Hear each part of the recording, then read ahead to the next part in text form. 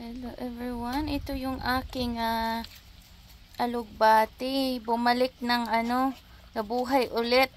Yung iba namatay na, ito na lang talaga ang natitira. Namatay na yung iba nating alugbati.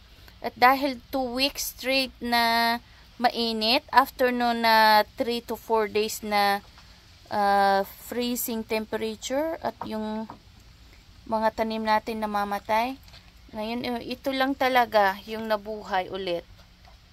Ayan, siguro makapag-harvest pa ako ng kahit isang beses bago ito mamatay ulit.